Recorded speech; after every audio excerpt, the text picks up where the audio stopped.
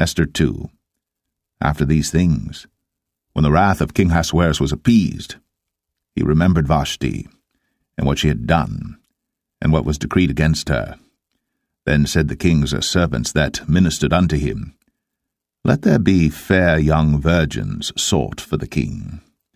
And let the king appoint officers in all the provinces of his kingdom, that they may gather together all the fair young virgins unto Shushan the palace, to the house of the women, unto the custody of Hegai, the king's chamberlain, keeper of the women, and let their things for purification be given them. And let the maiden, which pleaseth the king, be queen instead of Vashti. And the thing pleased the king, and he did so. Now in Shushan the palace there was a certain Jew, whose name was Mordecai the son of Jair, the son of Shimei, the son of Kish, a Benjamite, who had been carried away from Jerusalem with the captivity which had been carried away with Jeconiah king of Judah, whom Nebuchadnezzar the king of Babylon had carried away.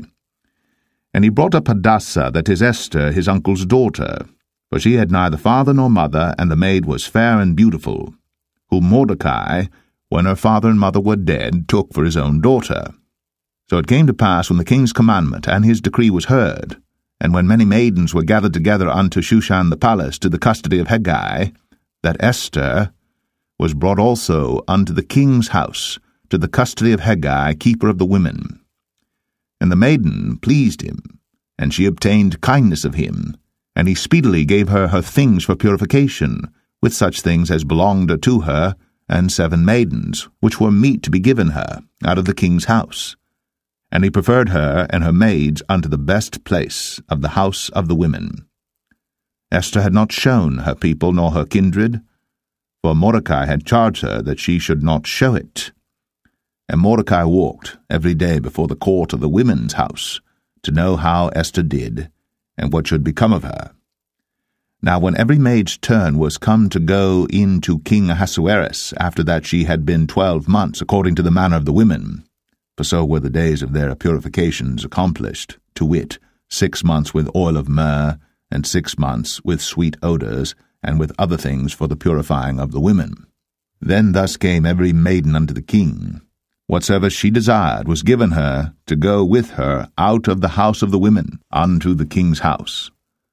In the evening she went, and on the morrow she returned into the second house of the women, to the custody of Shaashgaz, the king's chamberlain, which kept the concubines, she came in unto the king no more, except the king delighted in her, and that she were called by name.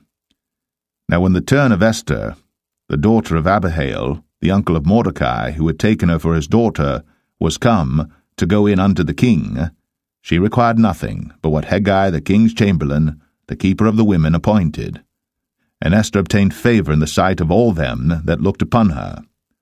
So Esther was taken unto King Ahasuerus into his house royal in the tenth month, which is the month Tebeth, in the seventh year of his reign. And the king loved Esther above all the women, and she obtained grace and favour in his sight more than all the virgins, so that he set the royal crown upon her head, and made her queen instead of Vashti.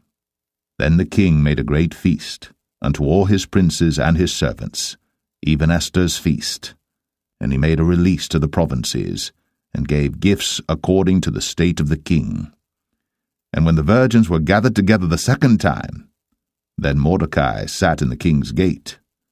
Esther had not yet shown her kindred nor her people, as Mordecai had charged her. For Esther did the commandment of Mordecai, like as when she was brought up with him. In those days, while Mordecai sat in the king's gate, Two of the king's chamberlains, Bigthan and Teresh, of those which kept the door, were wroth, and sought to lay hand on the king Ahasuerus. And the thing was known to Mordecai, who told it unto Esther the queen. And Esther certified the king thereof in Mordecai's name. And when inquisition was made of the matter, it was found out.